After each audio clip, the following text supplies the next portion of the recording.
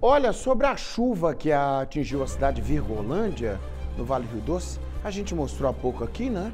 A prefeitura mandou uma nota para a gente. Obrigado à turma aí, viu? A prefeitura de Virgolândia. Muito obrigado mesmo por nos responder aqui a tempo, né? Nessa edição ainda.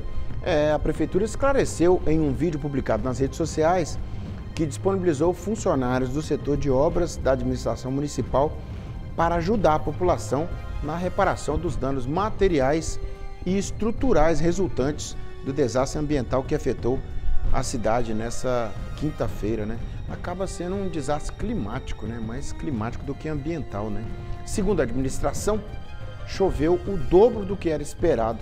O apoio é dado em conjunto com a Defesa Civil e o Corpo de Bombeiros, tanto na limpeza urbana quanto na desobstrução de estradas e outras áreas. A prefeitura também garantiu, através da nota, que assistência será dada a todas as famílias que tiverem transtornos, tiveram né, transtornos por causa das chuvas. Então, você que ainda não recebeu a visita da turma da prefeitura aí, pode ficar certo pela nota que alguém vai te visitar aí. Né? Faça contato né, e peça o socorro aí.